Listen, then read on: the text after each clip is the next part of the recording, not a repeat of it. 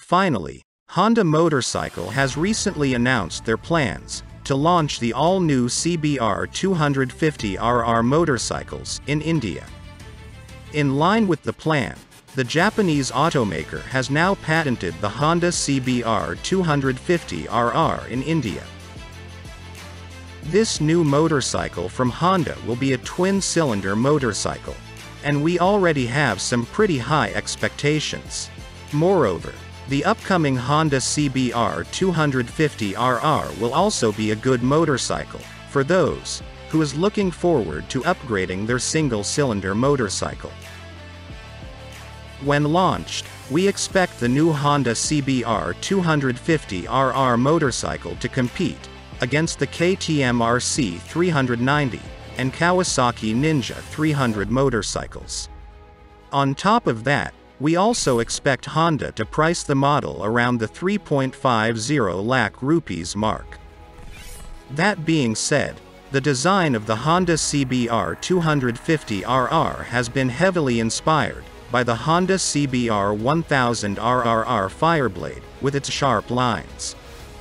Also, looking at the patent images, the motorcycle comes with eyebrow-like LED DRLs, that positioned above the LED headlights, which gives it a lot of aggression as well.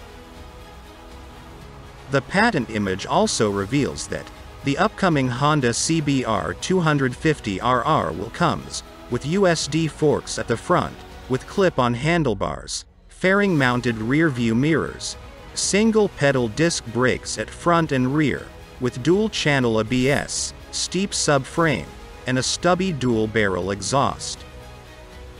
However, the CBR 250RR is surely an interesting motorcycle.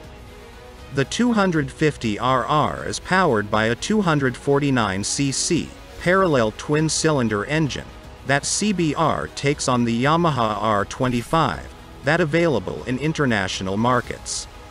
It churns out 38.2 bhp power and 23.3 newton meters of torque. While the top spec SP variant offers 42 bhp and 25 newton meters. It even comes with features like full LED lighting, with digital instrument cluster. It comes with slipper and assist clutch mechanism, and three ride modes. The styling has been kept sharp all through its bodywork. Right from the aggressive front end to the sharp tail section, that features split seats, with eye-catching color combination. Overall, the bike is perfect for any rider. And there are some rumors that, the upcoming new CBR 250RR will get some new special feature, than Indonesian variant. When it launch in India, the new Honda CBR 250RR will go up, against the KTM RC 200, and also the bigger RC, that is RC 390.